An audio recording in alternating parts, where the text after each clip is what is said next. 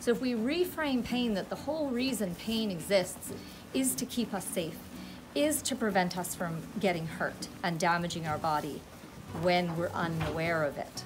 But if we bring all that into awareness and we bring all that into congruence, now it's a completely different conversation and the body can just have a dialogue with us rather than zapping us with pain signals. What I do is it's a visualization. And I imagine myself in a room and I sit down in the middle of the room. It's just me, I'm sitting on the floor. And I say to pain, Come, I accept you, I welcome you. And the pain comes like a tidal wave. It's like this tsunami, and you know it is going to annihilate you. It is going to obliterate you. You're literally going to be destroyed. And you say, Come, I welcome you. And of course, you have to know how to work the breath when you're doing this because the breath is what stops you from panicking. It stops you from clenching and armoring up. You just keep moving with the breath. And in your mind, you're saying, Welcome. I, I welcome you. I accept you. I receive you. And the pain comes and it hits you.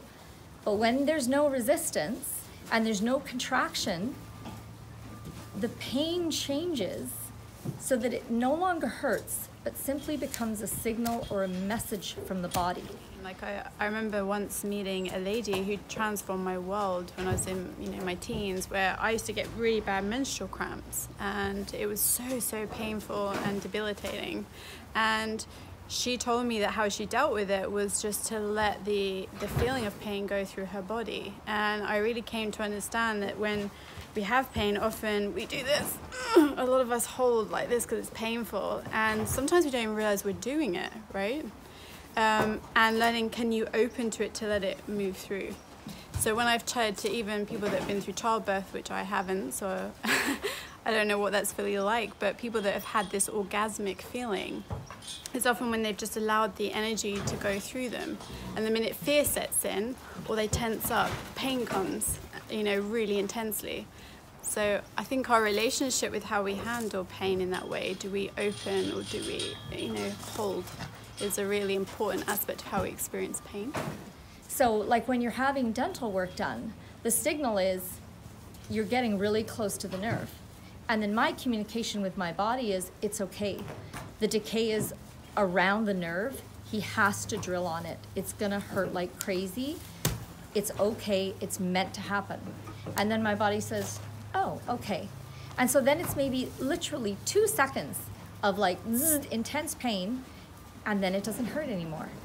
And so I've had jaw surgery. I've had my gum sliced open and the entire bone excavated. I've had it all done with no anesthetic because when you remove fear and you remove armoring and you remove contraction, pain no longer hurts. It simply becomes a message. And then you enter into the dialogue with the body and you explain to the body why this is happening. And you marshal the resources of the body that the body has to self heal and to, um, the body has its own painkillers that it can release. It, ha- it has its own um, hormones that it can release that assist you with whatever's happening in your physical body. If you are congruent that this is the best thing for your body. So if you try it with a procedure that you have not dialogued with your body about, you have not asked your body, is this the right thing for us? Because your body may say, we don't want surgery. We want you to walk a healing path. We want you to, to be ill for two years, but learn how to heal this from the root level. And you go against your body and you think, I'm just going to cut it out and make it all go away. You're to, it's going to hurt like crazy. There's going to be no congruence through that procedure.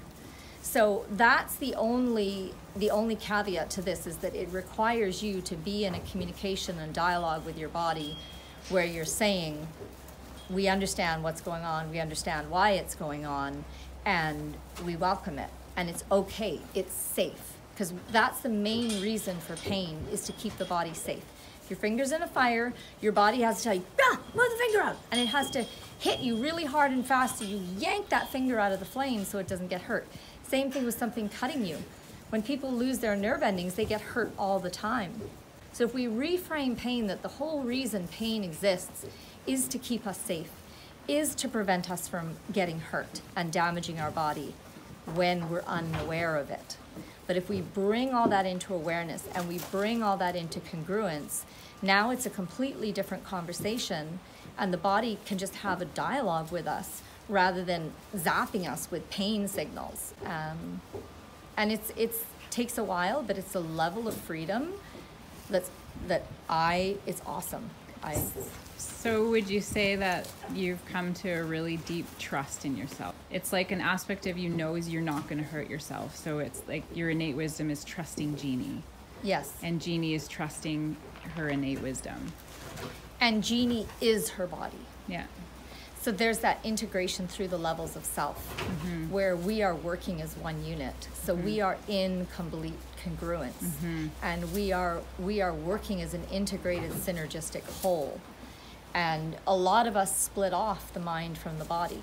So our mind is making all kinds of decisions and our mind is like this will be good for us and we need to have this done because and our body's going hell no this is not good for us and here's why but we're not listening to the body. Mm-hmm. And we're not dialoguing and, and talking with the body.